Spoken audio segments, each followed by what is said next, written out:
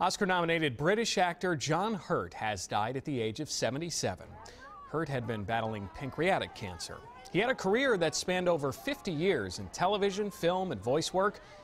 Uh, Hurt was nominated for an Oscar twice, playing a heroin addict in Midnight Express and then the tortured John Merrick in the David Lynch movie The Elephant Man.